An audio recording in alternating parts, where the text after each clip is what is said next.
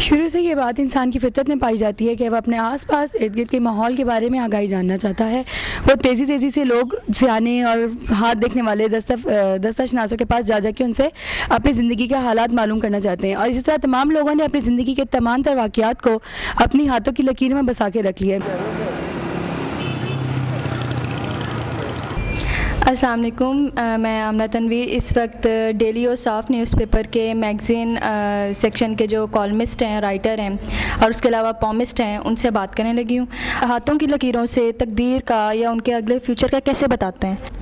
हाँ जी, असल में ये है कि जब इसको बाकायदा साइंटिफिकली हम स्टडी करते हैं तो फिर इसके जवाब काफ़ी हद तक 95 परसेंट तक इसके जवाब ठीक होते हैं। ये चीज़ है कि जो हाथ का हिसाब होता है, वो लाइनों का हिसाब होता है, वो पंद्रह दिन बाद या एक माह के बाद बदल जाती हैं। ये जो स्टार का हिसाब होता है, जिस वक्त आदमी का नाम रख दिया जाता है तो वो उसके मुताबिक होता है। अगर आपका अल्लाह ताला के ऊपर इतना स्ट्रॉन्ग बिलीफ है तो आई डोंट थिंक सो कि आपको किसी के पास जाने की ज़रूरत है। कहते हैं ना कि तकदीर तो परवरदिगार लिख देता है। तो आप इस पर नहीं यकीन करते? मैं बिल्कुल यकीन करता हूँ जो हाथ की लकीरें हैं ना इसको इस पर भी मेरा पूरा यकीन है। ये जो नजूमी है ये खुद अपना नहीं बता सकते लोगों को क्या बताएँगे ये? बिल्कुल यकीन तो है किस्मत के बारे में जानने के लिए कि अंदर फ्यूचर में या वैसे लाइफ में जानने के नजूमियों से हम पूछ लेते हैं। ये अपने हालात तो बेहतर करें ठीक है? अगर ये अच्छा कर सकते हैं लोगों की किस्मत बदल सकते हैं तो अपनी किस्मत क्यों नहीं बदलते? ये सारी बातें होती यकीन और अकीदे की।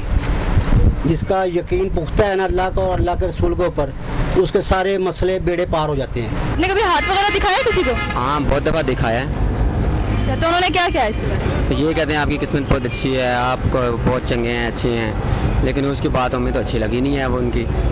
क्यों आपको क्यों नहीं अच्छी लगी? सब वहाँ पे फटाडी खड़े हैं। किसकी बात माने हम? या किसकी सुने? तो उन्होंने आपको सही नहीं बताया आपकी ज़िंदगी के बारे में। किसी ने कुछ भी नहीं बताया तोते रखे हुए हैं तोते कार्ड निकालते हैं। क्या जी पाँच रुपये लगते हैं जी तोते बहुत अच्छे हैं जी तोते कार्ड निकालते हैं। हम चले गए थे बस इतनी बात। उन्होंने आपसे पैसे कितने लिए? पाँच रुपये। पाँच रुपये बस? हाँ पाँच रुपये लेते हैं। किसी पे। हमें तो यकीन किसी पे नहीं है। फिर आपने दिखाया क्यों था? बस वैसे मैंने दिखाया था अपने दोस्त के लिए हमारी किस्मत अच्छी है नहीं मेरा दोस्त मुझे छोड़ के चला गया था इसलिए मैंने दिखाया था। अपने दोस्त के लिए। तो वो वापस नहीं आया फिर? नहीं वापस तो आ गया है लेकिन वो है वो नहीं जो हाथ हाथ देखने वाले थे उन्होंने क्या कहा था कि वो वापस आएगा? वो तो मैंने तवीज़ करवाया था उसके लिए तो वो वापस आया ना। मैं तवीज़ करने के लिए उसने पाँच सौ रुपया लिया था मुझसे। वो कहता है ये तवीज़ को किसी दरख्त पे टांग दें वो जो जैसे जैसे वो आएगी वो तवीज़ उड़ेगा। मेरा दोस्त आ जाएगा एक महीने बाद आ गया। आप समझ रहे वो तवीज़ की वजह से हुआ? हाँ ये तवीज़ की वजह से हुआ है। अभी मेरे पास है वो दो महीने तीन महीने हो गए मेरे पास है वो। तो आपको इसका मतलब यकीन है? मुझे यकीन है तवीज़ के तवीज़ के ऊपर। वो नजूमी के ऊपर मुझे यकीन तो नहीं है ना। जब आपको कोई बता देते हैं ना कि जी आपके फ्यूचर में ये ये चीज़ें हैं तो you start feeling very secure कि जी मैंने इतना बड़ा आदमी भी बन जाना है मैंने बाहर भी चले जाना है और मैंने महीने के डेढ़ लाख भी कमा लेने हैं।